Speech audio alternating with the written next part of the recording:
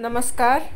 आज का हमारा पाठ है जामुन का पेड़, क्लास इलेवन से Hindi Aroh chapter number eighteen. चलिए, जितने भी महत्वपूर्ण प्रश्न उत्तर हैं, वो देख लेते हैं। और सभी प्रश्न यहाँ पर इस प्रकार से लिए गए हैं कि कभी भी एग्ज़ाम में पूछे जा सकते हैं। शुरू करते हैं। पहला प्रश्न है, बेचारा जामुन का पेड़ कितना फलदार था और इसकी जामुनें कितनी रसीली होती थी? ये संवाद कहानी के किस प्रसंग में आए हैं? और दूसरा पूछा है, इससे लोगों की कैसी मानसिकता का पता चलता है? तो बेचारा जामुन का पेड़ कितना फलदार था और जामुनें कितनी रसीली होती थी। ये जो संवाद है, ये बातचीत है कहानी के किस प्रसंग में आया है? ये संवाद सेक्रेटरीट के लोन में जामुन के पेड़ के गिरने से संबंधित है। रात के आंधी में सेक्रेटरीट के लोन में खड़ा जामुन का पेड़ गिर गया।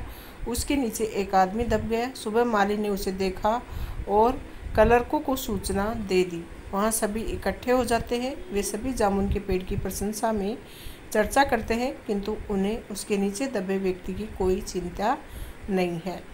और दूसरा प्रश्न है कि इससे लोगों की कैसी मानसिकता का पता चलता है? तो इससे लोगों की संवेदन शून्यता तथा स्वार्थपरता का पता चलता है। सरकारी अमले को जामुन के पेड़ से लाभ मिलता था, अतः वे उसके गुण गाते थे तथा उसके गिरने का दुख व्यक्त कर रहे थे। उन्हें दबे हुए ज़िंदा आदमी की पीड़ा से कुछ लेना देना नहीं है।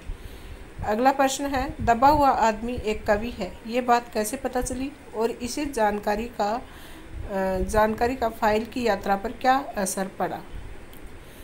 तो जब रात को माली ने दबे हुए आदमी के मुँह से खिचड़ी डाली तो उसे ये भी बताया कि तुम्हारे लिए सेक्रेटरियों की मीटिंग होगी और मामला शीघ्र ही निपट जाएगा। इस पर दबे हुए आदमी ने मिर्ज़ा गालिब का एक शेर कह डाला, ये तो माना कि तगाफूल न करोगे, लेकिन खाक हो जाएँगे हम तुमको खबर होने तक। ये सुनकर माली ने पूछा, क्या तुम शायर हो?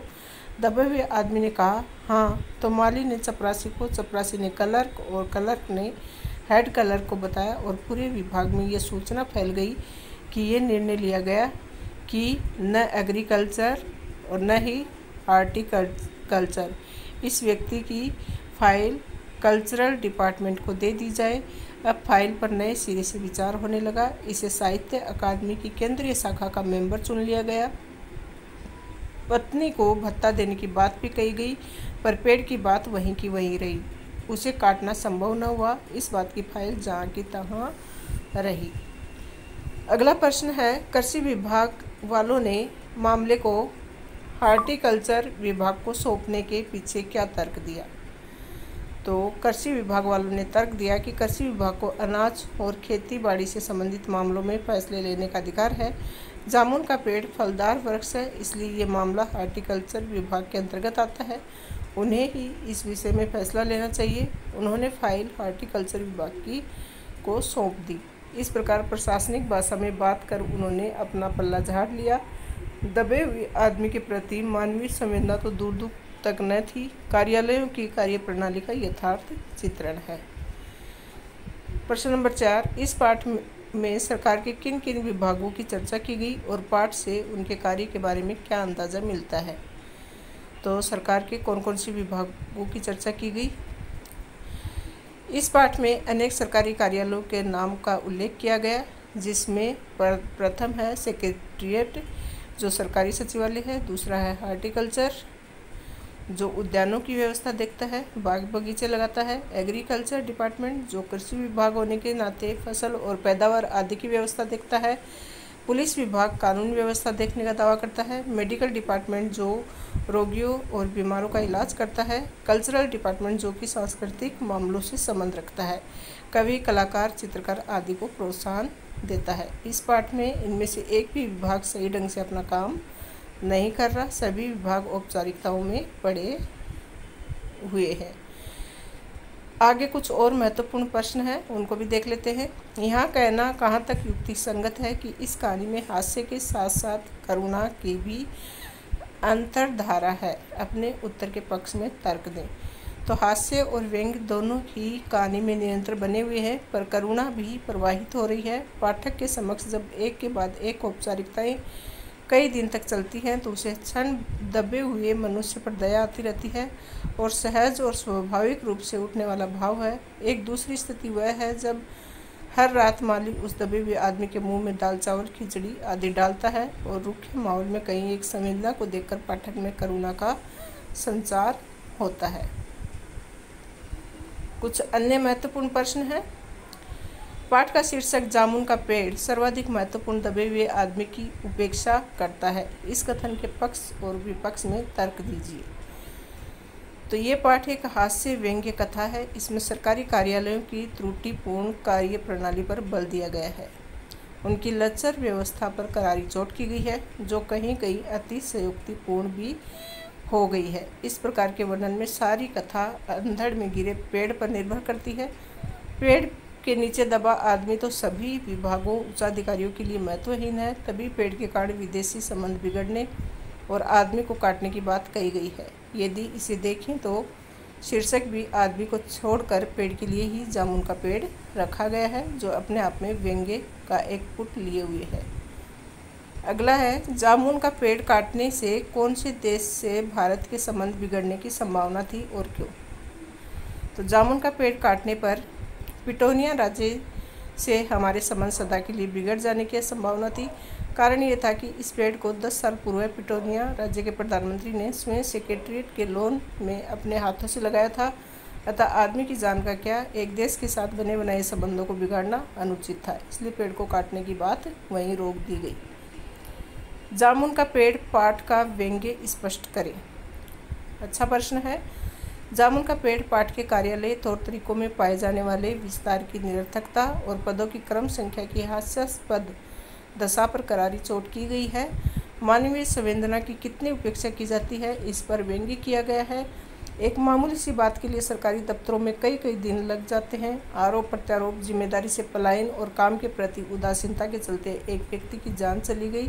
तब कहीं जाकर उसकी फाइलों का काम ख़त्म हुआ। आप देखते हैं कि कोर्ट कचहरी के भी मामले कई बार दस साल, पंद्रह साल के बाद केस निपटते हैं, तब तक तो आदमी ख़त्म हो चुका होता है। तो इस तरह से सरकारी कामकाज है। वो बहुत ही कानून के पेचीदे दाव पेंच से होकर निकलते हैं, जिससे बहुत सारे काम अटक जाते हैं। अगला प्रश्न है, इस पाठ में आए किन्हीं दो करुणापूर्ण दृश्यों को अपने शब्दों में उल्लेख कीजिए। पूरे पाठ में माली एक ऐसा पात्र है, जो मानवीय संवेदना के आधार पर दबे हुए आदमी के साथ सदैव बना रहता है। उसे निकालने के लिए सब, सबसे निवेदन करता है, रात को उसके मुँह में दाल चावल व खिचड़ी डालता है। जब वह दबे हुए आदमी के मुँह में भोजन डालता है तो पाठक के मन में करुणा का भाव आता है। और दूसरा पाठ का अंतिम दृश्य, जब प्रधानमंत्री ने स्वयं सारी ज़िम्मेदारी अपने सिर पर लेकर पेड़ काट, पेड़ काटने का हुक्म दिया फ़ाइल पूर्ण हो गई के साथ ये दृश्य आया कि दबे हुए आदमी का जीवन पूरा हो गया। उसकी साँसें रुक गई, शरीर ठंडा पड़ गया, मुँह में चीटियों की एक कतार जारी थी। इसे देखकर पाठक का हृदय करुणा से भर उठता है।